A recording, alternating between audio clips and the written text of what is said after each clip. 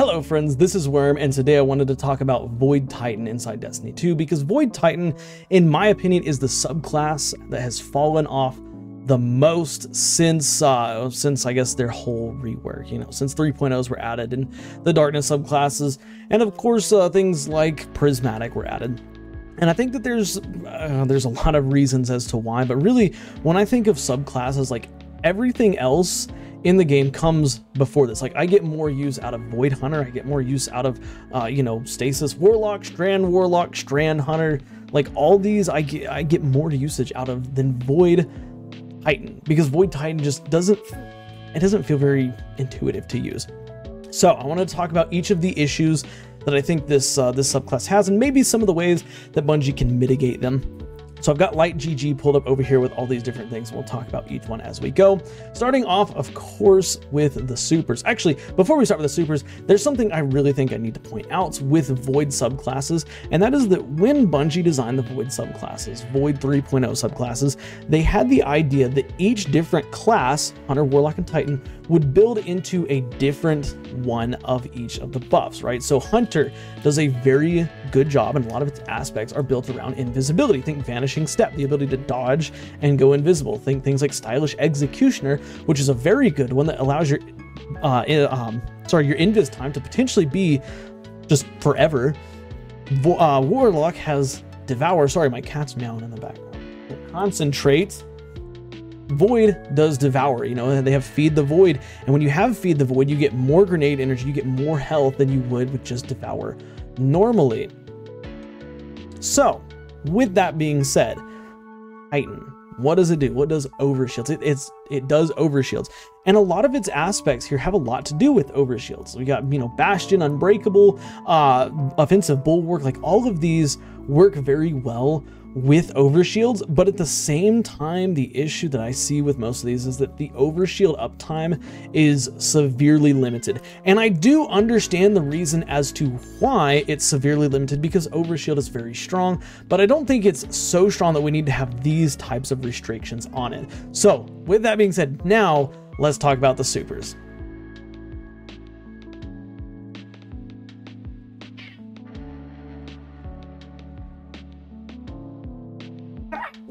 Damn cat. Sorry. Starting with our first super here, which is Ward of Dawn. Now, Ward of Dawn uh, historically has been a staple of Destiny culture. I mean, think all the way back to Destiny 1, where Ward of Dawn was basically like a requirement in most team-related activities. Even in solo content, like Ward of Dawn was a very good option to use. I mean, just Void Titan in general was very good to use, uh, but Ward of Dawn is a very strong option. And really, Ward of Dawn to me is still a strong option. If you don't know what it does, it creates an indestructible dome, as it says here. It creates an indestructible dome to protect you and your allies. Now, one of the things that they changed with it here recently is while you are inside or near the Ward of Dawn, you and your allies gain a Void Overshield. So this is uh this is something a little bit new, but I mean, I don't really know what else there is to say about Ward of Dawn, it's pretty good where it is. Like it provides you a safe haven that nothing else in the game does. Not even Well of Radiance provides the same safe haven that Ward of Dawn does. Because when you go into a Ward of Dawn, you are, I mean, you're not in technically invincible, but you feel unstoppable, especially if you pair it with Helm of Saint 14, which blinds enemies. I mean, it's it's like you know shooting fish in a barrel, so to speak.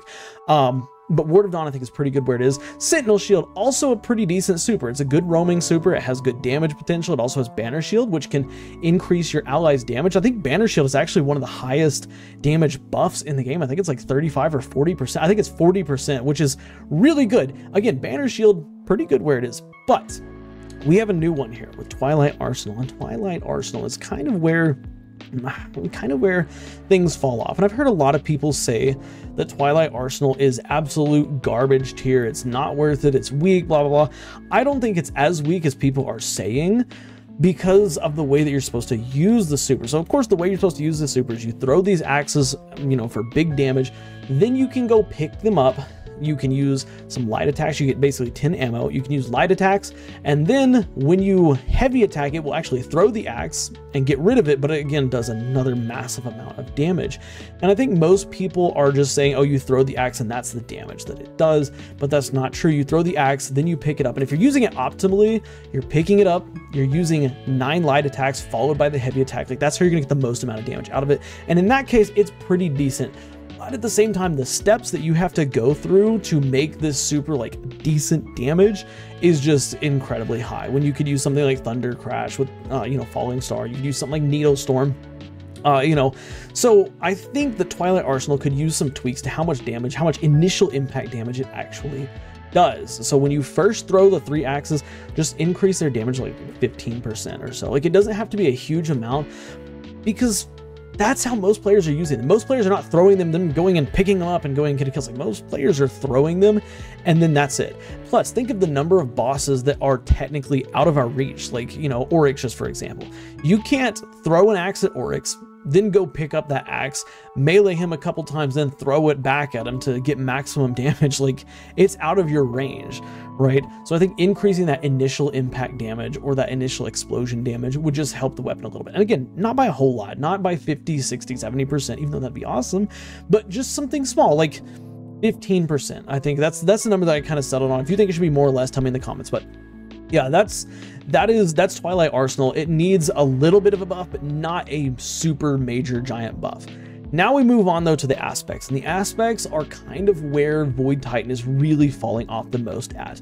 And I want to start with Controlled Demolition here, not only because it's the first on uh, Light GG, but also Controlled Demolition, in my opinion, is the most balanced and probably one of the, the best, not one of, it is the best Void Titan aspect. And actually, I don't think it needs all that much help, which is kind of counterintuitive to the video I'm making here. But what it does here, it says hitting a, a target with void ability or a volatile explosion makes them explode uh, makes them volatile as well.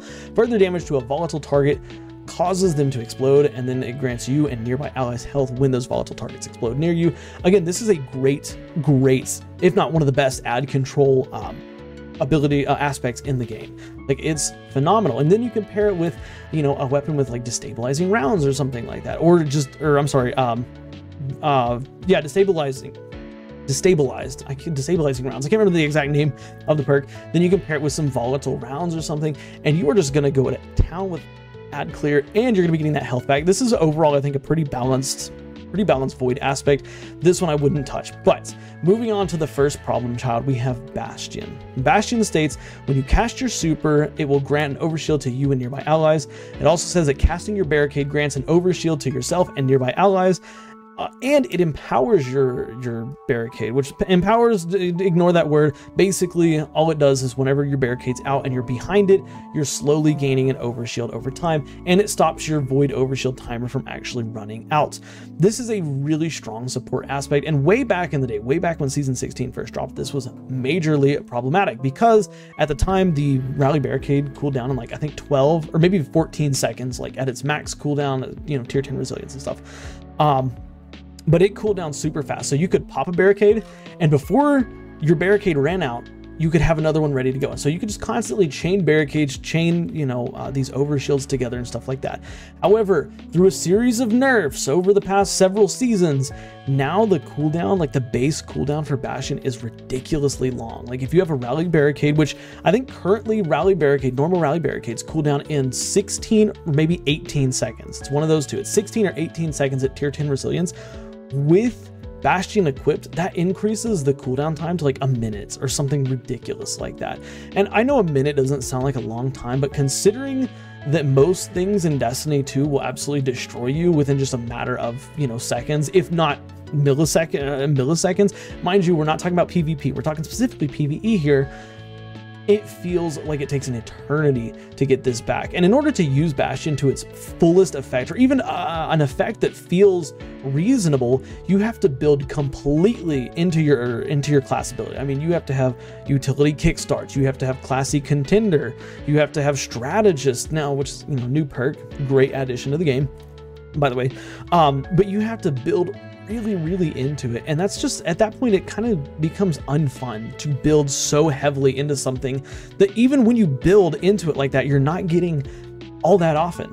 Like I literally was doing a build the other day where I was trying to get my barricade back as fast as I could, and I would pop it. I would have, you know, my max armor charges, I would have utility kickstarts, I had a strategist weapon, and it still felt like it took an eternity to get that barricade back.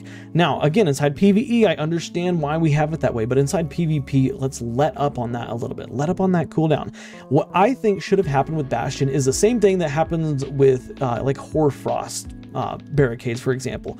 Hoarfrost when you have Hoarfrost equipped, your barricade has a standard cooldown of a towering barricade. So even if you have rally barricade on, it cools down in the same speed as a towering barricade. Do the same thing for Bastion here, right? So even if you have a rally barricade, you put your rally barricade down, it has the same cooldown as a towering barricade as opposed to giving it this like four or five times longer cooldown. Like that's just ridiculous. And really, once you do that, I think everything else about Bastion is fine. You don't need to do anything else to it. You don't need to add damage to it or, you know, anything like that. You could also, if you wanted to, you could also add an effect here. Instead of, you know, instead of decreasing the cooldown, add an effect that says when you get kills while behind your bar rally barricade, it gives you class ability energy back, you know, maybe 5% per kill right? Like that, that would be that would be another option, but really I just think just reducing the cooldown altogether is the way to go for Bastion. But that's the problem with Bastion. Let's move on to the next one, which is Offensive Bulwark. And Offensive Bulwark I think is also pretty good, but Offensive Bulwark definitely still needs some changes. So let's talk about what it does first of all. Uh, offensive Bulwark states, while you have an overshield or you're inside the Ward of Dawn, your grenade charges significantly faster, you have increased melee range and damage, and melee final blows restore a small portion of your overshield and extends its duration. Uh, you gain an additional shield while in Sentinel Shield. So this had a change recently. Uh, actually, the last part of that right, where is it? Right. Oop, come on. Right. Uh, well, the last part there, uh, where melee final blows restore small portion of overshield, that was actually a relatively new thing that was added, uh, which definitely helps the subclass out a lot. But here's what I think we should do with offensive bulwark. I think on top of having a faster grenade cooldown, it should also have a faster melee cooldown. And if you really wanted to go there, you could build into Bastion. And when you have a Void Overshield, it gives you your class ability back faster. That way you're getting your melee, your grenade, and your class ability back all faster while you, you know, while you have offensive bulwark equipped and it would have that great synergy here just like you know another synergy that i can think of off the top of my head is solar warlock heat rises and um, icarus dash those have wonderful synergy with one another do the same thing for Bastion and Offensive Bulwark. You know, Offensive Bulwark now cools down your barricade faster while you have a Void Overshield. Then, of course, Bastion gives you that Void Overshield. Like, that would help it out a lot. Uh, but I also think that another change that should happen to Offensive Bulwark here is actually the amount of um, overshield energy that you get from a melee kill. Currently, it's like 10 overshield HP, maybe 15. Like it's super tiny. I mean, in any real content, I mean, even in even in regular content, regular strikes, like you're losing that bef- like quicker than you can gain it. Like you have to go on a melee rampage, start punching everything, and really you get in a in a in a fight with a thrall. The thrall takes off half your melee. Should you kill that thrall with melee, you get like 10% of it back. Like it's, it doesn't feel all that great. Like, yes, it does extend the duration, which is nice. Uh, and when I say extend the duration, I don't mean literally just extend the timer, but it actually makes your overshield technically last longer as long as you can get melee kills. But at the same time, like I think it could be a little bit more so you could build into that because at the same time, if you're up there meleeing enemies, you're putting yourself in harm's way and you should have more of a trade-off for, uh, you know, for doing that.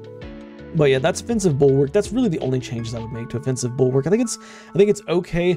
Uh, you know, it needs those cooldown changes though. It needs those cooldown changes.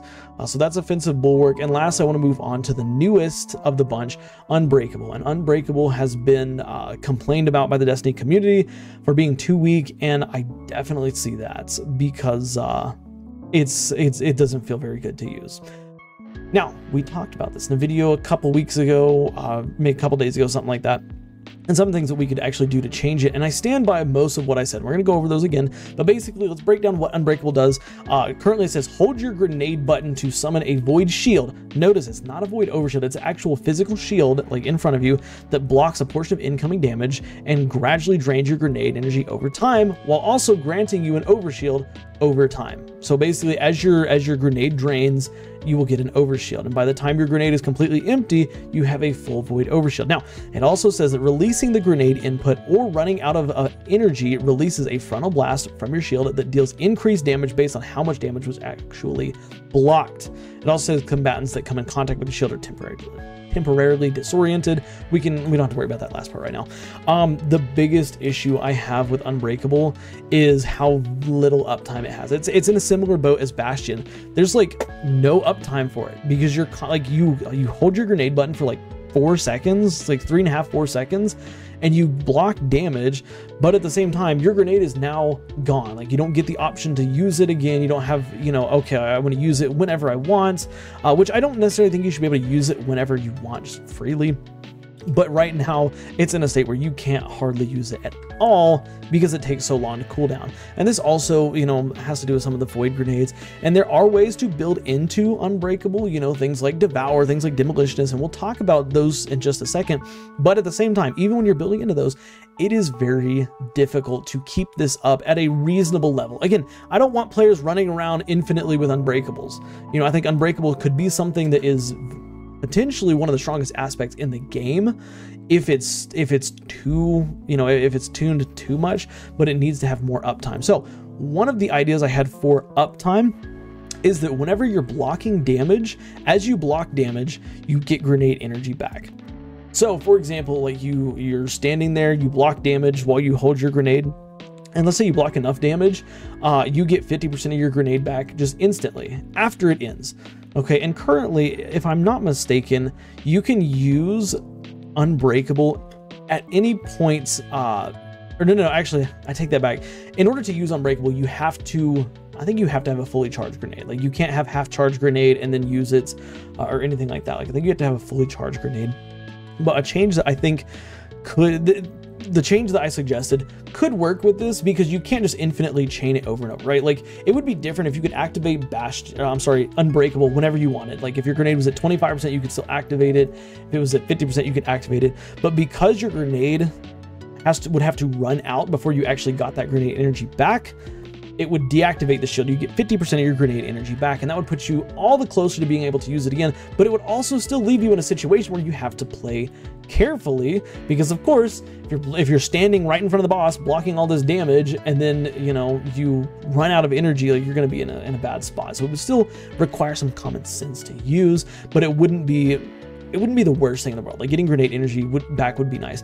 Now I know there's a, a lot of people that are probably gonna say, well, what about devour? That's a void. That's a void you know, verb that you can easily use. And yes, like Devour is something that can help you get your grenade back faster. I believe it gives you 10% grenade energy per kill when you have Devour active. Uh, but I think that when it comes to Devour and Titan, like that's not really a synonymous thing. Like in order to get Devour on Titan, you have to be using an, uh, a fragment, sorry, where you have to pick up an Orb of Power or a Void Breach.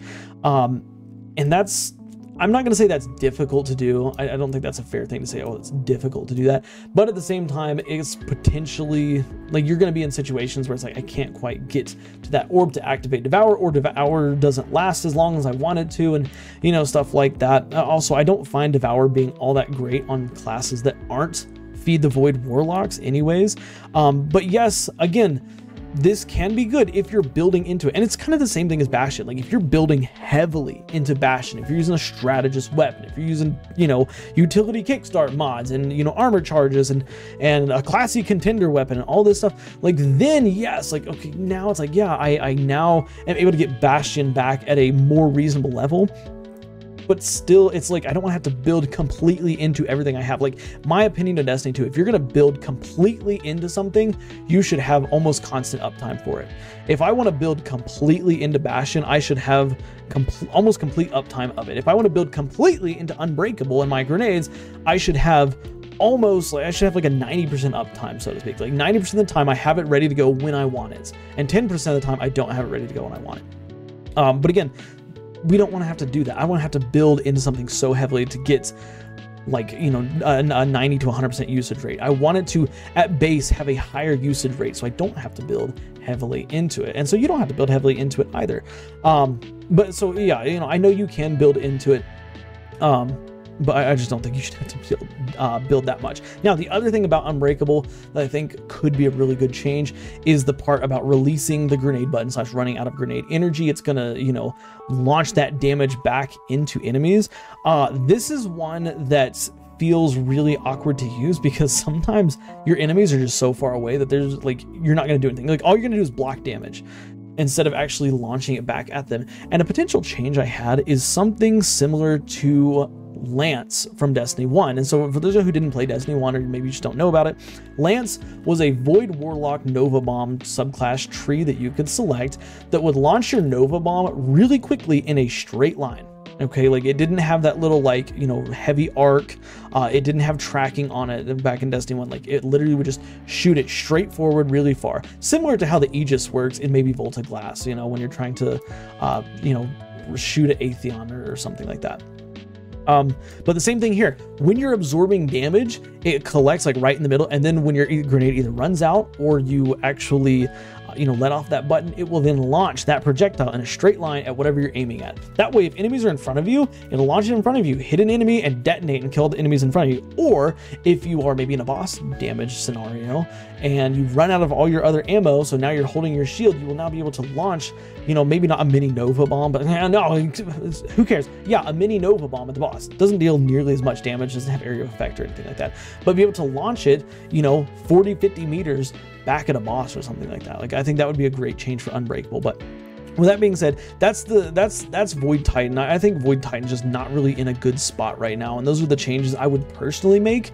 to make these uh, to make the subclass feel better. Again, it's mainly in the aspects. Like uh, Twilight Arsenal does need a little bit of a tweaking, but the aspects, these three right here, the uh, Bastion, Offensive Bulwark, and Unbreakable, they need some buffs. Especially Bastion and Unbreakable. Those these just feel unusable at this point. But yeah, with that being said, I want to hear your thoughts on Void Titan. Like, do you am I just missing something? Is there a crazy build that I should try that gives you uptime, more uptime on these? If so, let me know in the comment section below. Of course, tell me your thoughts on it.